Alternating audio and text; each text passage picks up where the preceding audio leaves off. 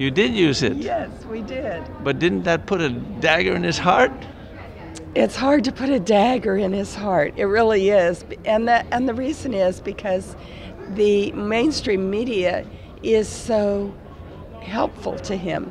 They protect him from those things and they don't re-report. You must have have noticed that that that didn't get any real traction in the mainstream. It was as you say on YouTube and we the people were punching in with um, deliberacy to say, my goodness, what, look what this guy is saying. That's what's wrong with Washington.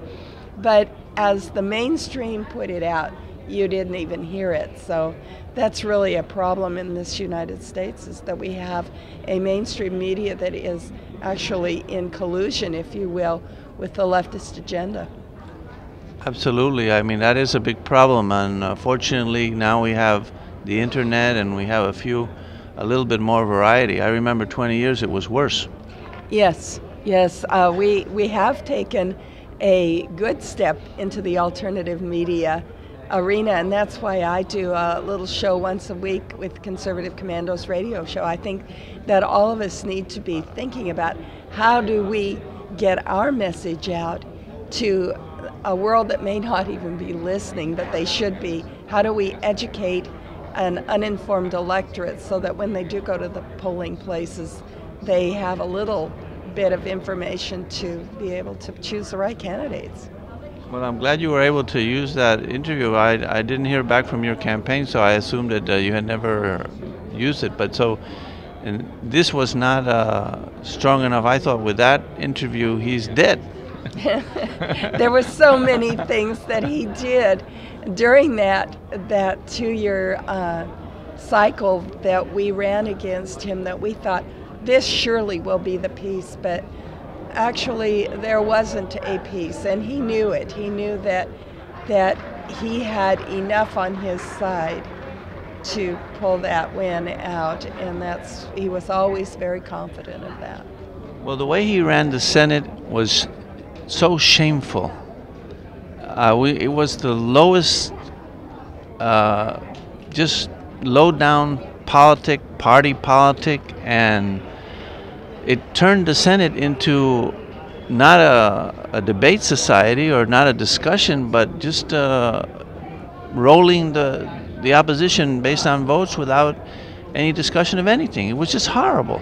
Well, and and as you noticed, the whole world noticed, it was an inactive body. Yeah. And in fact, uh, I think they're almost inactive by inertia these days because even though he's not in the majority anymore, he has so uh, given them the idea that they can't act, that they won't act. And I, I keep waiting for action now that you have the majority Republicans, let's act, let's act. And the Congress keeps sending them things to act on, and now we watch them kind of shake over there and, and wonder are we going to see some action out of you? Or are you just so afraid of the Obama veto, so afraid of the Reid minority that will actually um, call you names and, and perhaps give you a bad uh, reputation for the next election. What is driving the Senate? And many Americans are wondering, what is driving you, or is there anything? Absolutely. And didn't they? Didn't Harry Reid use the atomic option on the Republicans? Can't they use the atomic option on the Democrats? You would think if the nuclear, if there is a nuclear option, it would work both ways. But oh, yeah, certainly, certainly, we haven't seen that yet. Uh, we've heard some promises. I've heard some promises here at CPAC from those senators that are um, presidential hopefuls saying we're going to do something about Obamacare. Well, I said, when? When? Let's let's see it now. We'd like to know when we're going to act. And the budget. They just uh, rubber stamp increases in the budget and don't do anything about it.